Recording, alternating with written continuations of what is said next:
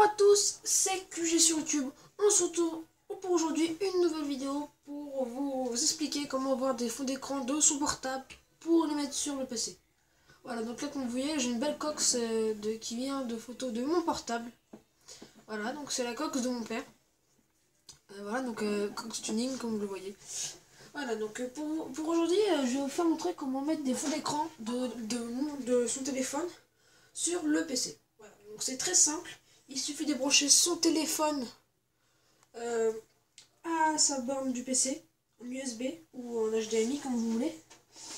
Euh, enfin bref, voilà. Je branche en ce moment. Bah, j'essaye de brancher une gueule. Voilà.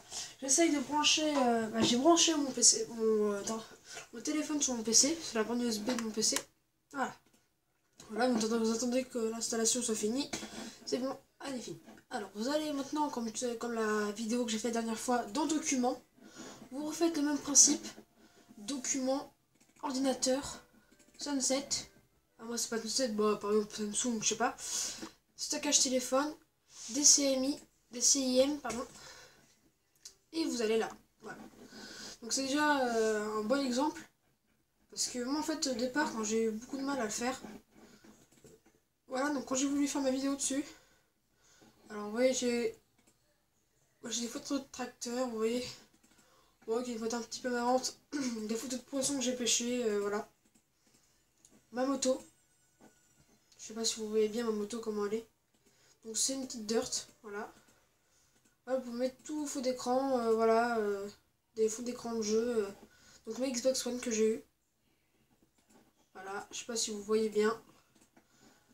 Voilà, donc c'est pas du tout compliqué. Après, pour le mettre en fond d'écran, vous faites sur clic gauche, vous mettez, vous mettez définir en tant que papier peint de bureau. Voilà, donc là vous regardez, hop, hop, hop, et voilà, elle est là. Voilà, donc moi en fait je vais remettre ma photo que j'avais avant, c'est-à-dire la photo de la cox de mon père. Donc là il faut passer toutes les photos, donc moi elle est là. Regardez bien comment je refais. Hop, clic gauche, définir en tant que papier peint bureau. Voilà, on va juste fermer les pages. Et voilà, elle est là. Voilà. Donc c'est juste un petit tuto pour vous dire comment mettre les fonds d'écran de votre portable sur le, sur le en fond d'écran de PC. Voilà. Donc c'est déjà la fin de cette vidéo. Allez, à plus